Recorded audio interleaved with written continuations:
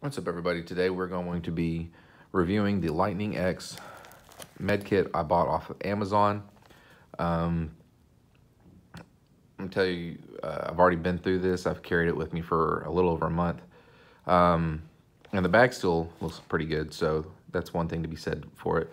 It did not come with the medical patch on the loop here. I just feel like if you're gonna have a med kit for trauma, you need to have it marked so that that way if it's you who like if you're the one who's injured people can automatically see like hey there here's something that can help me. If i'm trying to help somebody and i send someone to get this i don't want them searching through my bag to find it. I want them to know exactly where it is.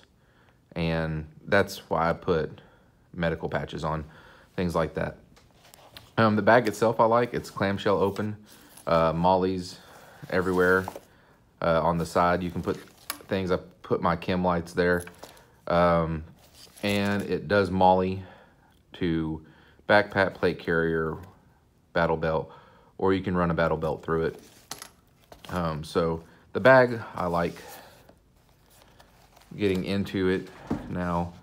Um, there are a lot of things, now that I know more about medical, there are things that I wish this had that it doesn't. There are things that will suffice. And I think there are things that they could have put in there that they didn't um, kind of swapped out. I've done a video over this. This is my backup tourniquet. I carry a cat's tourniquet in my other kit. But this is the backup. It's like $17, $18 on Amazon. Whereas the SWAT T, which I think is a better uh, tourniquet if you're not going to go with the T triple C as your backup.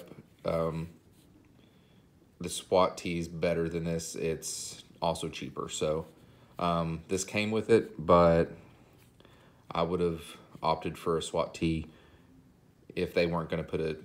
I mean, it's cost saving. If they put a cat tourniquet in this, that cost almost as much as the whole kit itself. So they, you know, obviously they're trying to keep the cost down.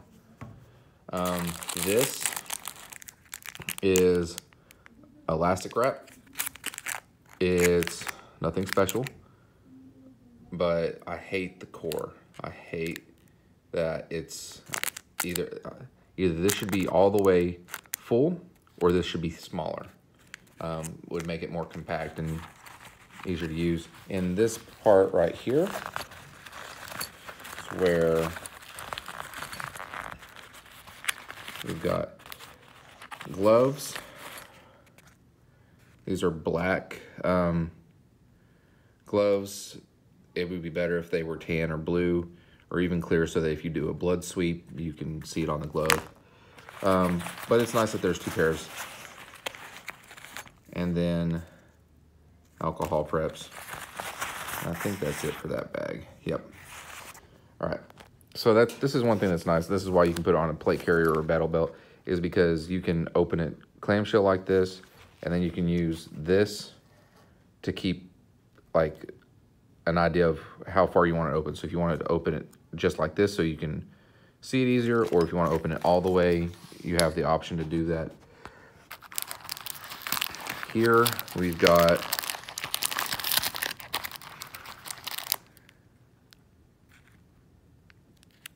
just gauze. It's not enough for packing. It's, you know, just a thin piece of gauze. Nothing special. This is much better. This is compressed gauze. This is for packing. And that is a good thing that I'll definitely keep in there. Um, everything that you've seen so far I'm probably going to replace in the future. A CPR mask for rescue breaths. Um, it's nice that it's compact like this. I'm probably going to remove this for something else, just for space sake. And if you watched my other video about what I keep in my first aid kit, um, this is what I usually carry with me anyway, so which is a much better mask. And there's also an infant mask in there. You have the MPA, and everything's still in wrap so sorry about the camera lost the GoPro, so we're doing it this way. Uh, MPA, uh, stick it in their nose. This one is not lubricated. There is no lubrication with it, um, but you can use uh, saliva, blood, anything that's gonna make it easier to pass through their nasal cavity. Um, cheap trauma shears. So not bad. This isn't a kit that I'm gonna be going for a lot. I'm not a paramedic. I'm not on a SWAT team where I'm going to be doing medical on a regular basis. So um, this is coming up on a car accident, uh, accident in the woods with the scout troop, and they're good one-time use scissors. So I'll keep those in there. This is a hemorrhage control bandage. So hemorrhage control bandage to me just means it's your basic pressure dressing. Um, getting further into the pocket, we've got triangle bandage. These are always good um, for sloth, or uh, sorry, uh, sling and you can do junction wounds with it. This is just gauze. I mean, self-explanatory there. More gauze. Not enough for really a major bleed, but good to have. Uh, this is a combine pad, so I think this is what they were using instead of chest seals in here. Um, it's definitely better for a larger laceration that you need to do a pressure dressing on. Um, but not for chest seals. Um, uh, what I'm probably going to do is when I'm reducing my stuff inside the kit to make it more of a trauma kit, I'm going to go with some HyFin chest seals. Um, just because I feel like those are important to have and they don't come with any.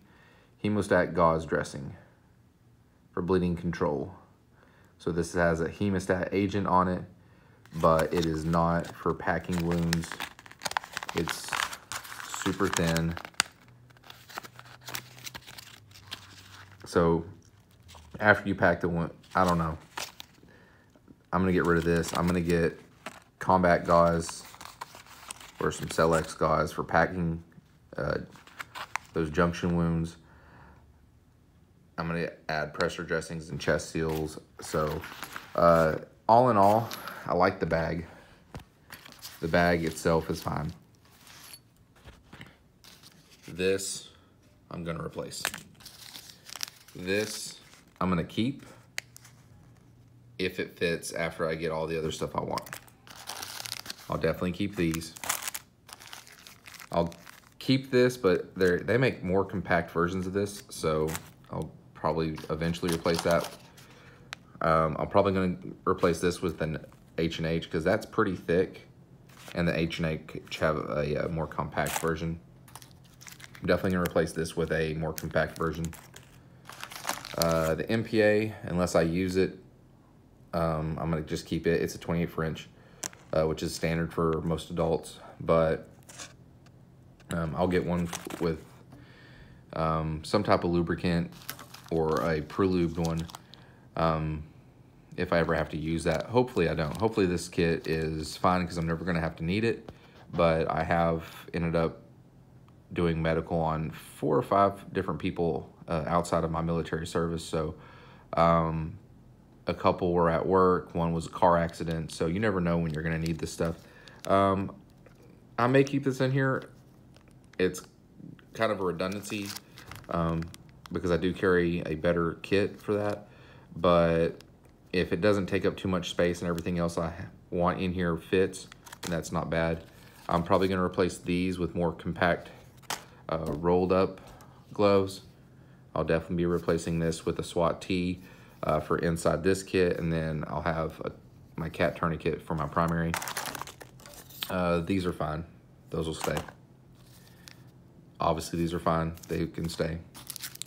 Um, this would be fine um, for wrapping purposes, but um, there are better, more compact versions of everything in here. uh, except for this. This is pretty standard from what I've seen, just your regular packing gauze. Um, so all in all, I, uh, this kit is not their only kit on Amazon. The Lightning X has uh, this one for $50. They have a $100 kit. They have, you know, a lot of variety on Amazon.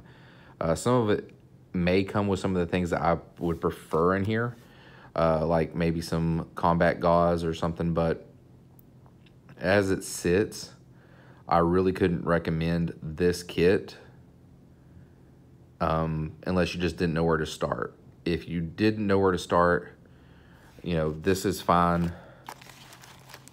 This is a fine, this will work as a backup if you had to. Um, there are better backups out there, but um, I mean, nothing in here is super impressive. If you're going to buy it, uh, what I would do is buy it and then also throw in some uh, chest seals. Uh, the, I think the HyFins are $12, $24. You know, the two pack's the best, but I mean, it is what it is. And, you know, you can definitely take away from and add to as you see fit. But in my opinion, it's lacking a lot for an actual trauma kit. Um, bag's good, so if you want to buy the bag separate and then load it yourself, um, that would probably be the best way to go with this stuff. Um, thanks for watching. Uh, like, subscribe, and share. And we'll talk to you again next time on Van on the Loose.